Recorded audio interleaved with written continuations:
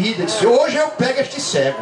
Quando ele chegou no restaurante, o garçom já veio ao encontro dele, disse, o senhor quer que eu traga a colher de pau?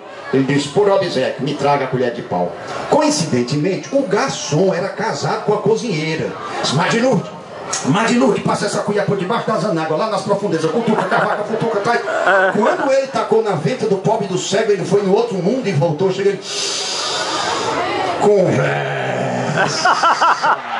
Eu não acredito não. A Maria de Luz trabalha nesse restaurante.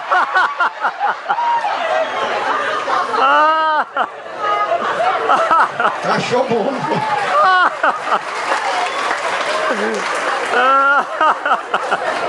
Outro dia eu encontrei o sujeito na fila do banco. Eu encontrei o sujeito na fila do banco. Ele disse, você fala de que no seu show? Eu digo, entre outras coisas, eu falo de relacionamento, eu falo de casamento.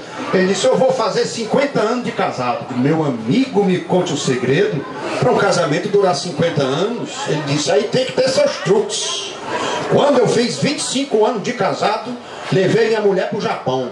Digo, agora o senhor vai fazer 50? Tá pensando em fazer o quê? Estou pensando em voltar lá para buscar ela, né? Digo, aí pode ser que dure 50 anos. Mas eu, eu tinha um sonho, sabe? Eu queria ser artista.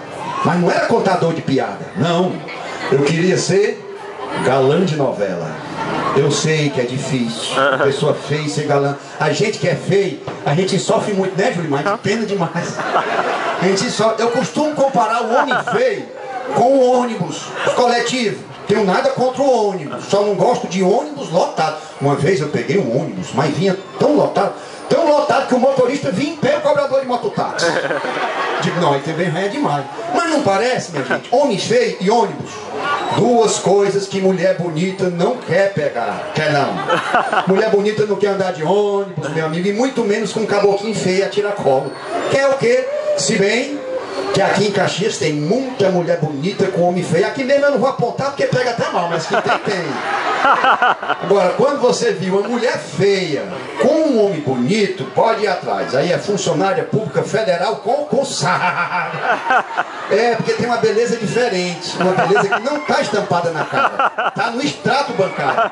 Você olha e diz, menino, que beleza. E homem é bicho sem vergonha. Agora, eu tinha um agravante. Além de feio, liso. E feiura e pobreza é um coquetel mortal. E eu lembro do tempo da liseira grande. Liseira! Era tanta liseira que o papai botava farinha em tudo que a gente ia comer. Tudo, até no café. Eu dizia, papai, para ver se incha. Passava o dia empanzinado, o bucho por acolá, bum, bum, bum, parecia um tambor, bum, bum, bum, e a mamãe brigava, não bata não, que peido é igual a peixe, se você bate ele vem. Na sala de aula, a minha professora dizia, atenção turma, qual o aumentativo de comida? E eu, farinha, professor. Era o que eu botava para aumentar.